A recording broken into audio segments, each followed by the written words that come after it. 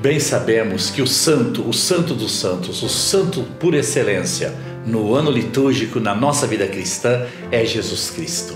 Mas a sua santidade, a sua glória reflete nos santos. Em Maria, a mãe de Jesus, a santa por excelência. Nos santos que seguiram Jesus Cristo, apóstolos, mártires, tantos santos de Deus. Esses santos são recordados na liturgia, dentro do ano litúrgico, como solenidade, como festas. Mas queremos hoje entender as memórias dos santos, tanto as, as obrigatórias como aquelas facultativas. Vamos entender os santos e as memórias do ano litúrgico. No livro do Apocalipse, encontramos a legião celestial que é formada por milhares e miríades e que engrandecem a glória de Deus. São os santos lavados pelo sangue do Cordeiro e que são redimidos pela misericórdia de Deus. Como parte da revelação divina no ano litúrgico, são recordados muitos e muitos santos, desses personagens humanos que buscaram o caminho da santificação e que a Igreja reconhece a religiosidade popular se fortalece. Os santos pertencem à mensagem divina, pois refletem o amor de Deus pela humanidade. São extensões da caridade de Jesus Cristo na dor dos irmãos.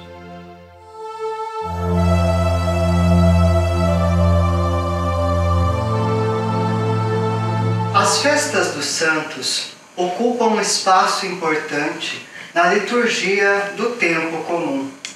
Por causa de sua importância dentro do ano litúrgico, de sua relevância na vivência da fé dos cristãos, bem como da necessidade de responder ao problema do culto dos santos perante os cristãos de outras denominações.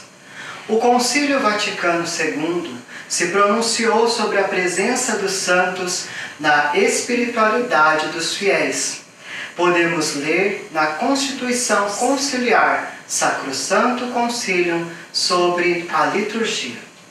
Antes de tudo, devemos destacar que os santos abriram seus corações e responderam positivamente à graça divina. Os santos são sinal e testemunho de fé. Eles são, por isso, sinal de perseverança impulso ao seguimento de Jesus Cristo. Como viveram em situações semelhantes às nossas, seu modo de agir pode representar um modelo a ser seguido. A força de vontade dos santos que perseveraram na prática do bem e da justiça pode ser um apelo para que os cristãos vivam o ensinamento evangélico. Os santos são apresentados, portanto, como modelos e intercessores, assumidos dentro da fé cristã como amigos e co-herdeiros de Jesus Cristo. Assim, ao mesmo tempo que a Igreja quer evitar certos abusos, ela valoriza e estimula o culto aos santos, porque neles os fiéis buscam o exemplo de uma vida radicada no Evangelho.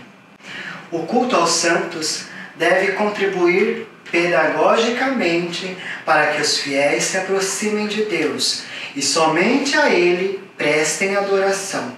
As manifestações desta devoção são muito simbólicas e se dão por meio de festas, danças, peregrinações, desfiles, promessas, correntes de oração ou outros modos.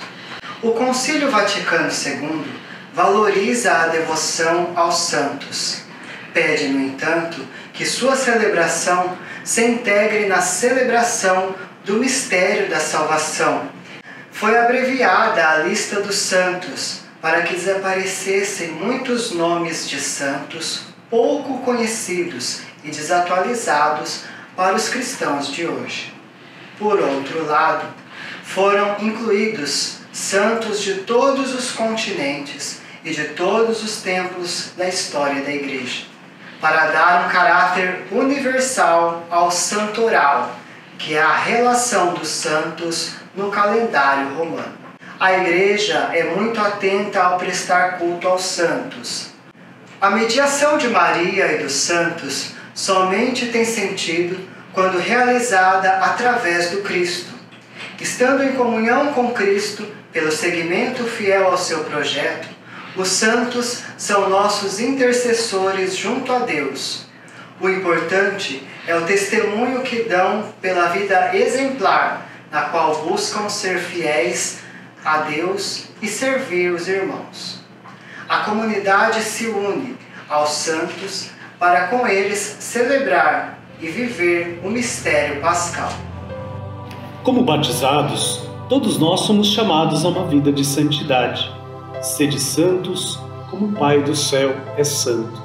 Este é o convite que Cristo faz a cada um de nós. Ser discípulo é ser santo, é ser comunicador da verdade do Evangelho, não só com palavras, mas também com os exemplos de vida.